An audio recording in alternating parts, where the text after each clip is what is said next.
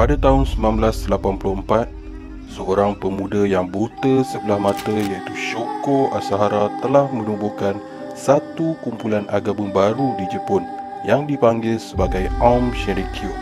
Aum Shinrikyo yang membawa maksud ajaran kebenaran sebenar pada mulanya hanyalah satu kelas yoga sahaja. Namun pada tahun 1995, kumpulan ini merupakan kumpulan ajaran sesat yang paling berbahaya di Jepun. Dengan hanya bermula beberapa orang sahaja, pada tahun 1995, kumpulan Aum Shinrikyo mempunyai lebih dari 9,000 anggota di Jepun dan lebih 40,000 pengikut seluruh dunia. Jadi, macam mana kumpulan yang bermula sebagai kelas yoga ini boleh menjadi satu kumpulan ajaran sesat yang paling berbahaya di Jepun? Menurut Shoko, manusia pada masa itu sedang menuju ke Perang Dunia Ketiga yang akan dimulakan oleh Amerika Syarikat.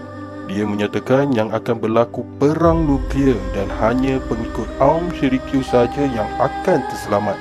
Shoko telah menyuruh ahli-ahlinya yang lain untuk mengajak seberapa ramai lagi orang untuk mengikuti kumpulannya.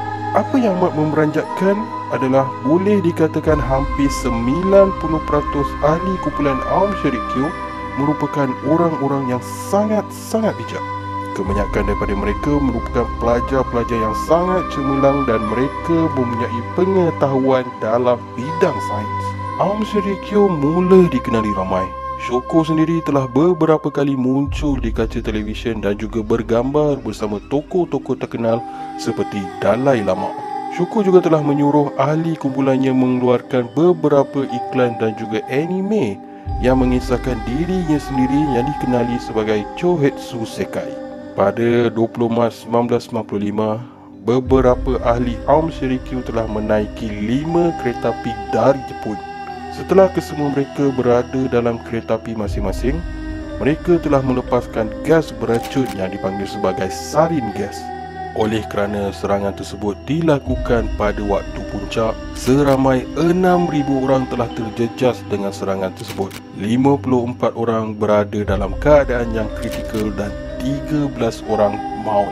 Sejurus serangan itu berlaku, anggota polis Jepun telah menggeledah rumah kediaman Ali Aum Sherikyo dan menjumpai senjata api, bahan letupan dan siren gas yang mampu membunuh lebih 4 juta orang.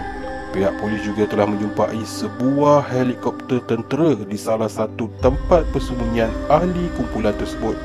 Syukur dan beberapa ahli kumpulannya berjaya melarikan diri. Mereka kemudiannya cuba untuk melakukan satu lagi serangan gas beracun yang mampu membunuh lebih 10,000 orang Namun serangan itu berjaya dipatahkan oleh pihak polis Jepun. Setelah hampir dua bulan serangan tersebut berlaku, Shoko akhirnya berjaya dikesan dan ditangkap oleh pihak polis.